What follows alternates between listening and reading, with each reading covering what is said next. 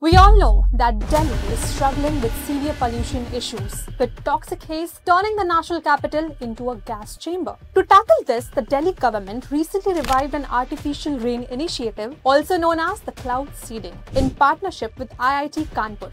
The idea was to induce rainfall over the city, hoping to wash away suspended pollutants and improve the air quality. Aircraft from IIT Kanpur flew over the parts of Delhi, including Burari, Mayur Vihar, and Karol Bagh, releasing silver iodide flares into the cloud. Silver iodide has a structure similar to ice, acting as seeds around which water droplets can gather. When enough droplets form, they become heavy enough to fall as rain. A second trial was conducted after three hours over the same areas. However, the experiment failed completely and not a single drop of rain fell. The failed attempt also cost the government over rupees 3 crore, making it an expensive exercise with no result. Experts explain that cloud seeding requires specific conditions including sufficient moisture in rain-bearing clouds and favorable wind patterns, which are usually absent in Delhi in winter. On the day of the experiment, the moisture content in the clouds was only 10 to 15 percent, far below the minimum